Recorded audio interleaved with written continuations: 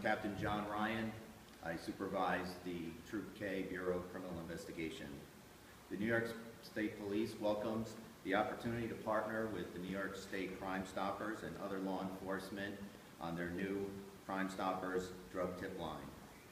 This is yet another opportunity for the public to join forces with law enforcement in our fight against illegal drugs and the harm it brings to our communities.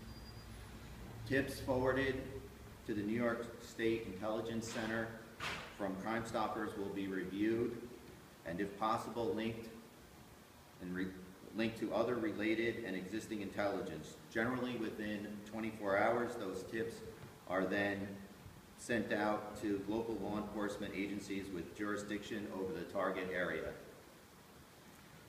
While all tips can have an unlimited potential, those with specifics like names or license plates or other details give law enforcement a particular advantage in their fight against heroin and other drug, drug abuse.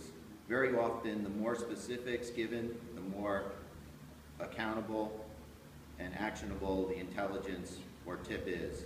In the end, it is the collaborative effort of all involved that will have the greatest impact.